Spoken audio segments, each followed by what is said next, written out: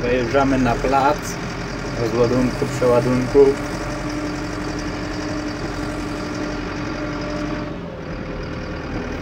Spady dzisiaj już zbieramy.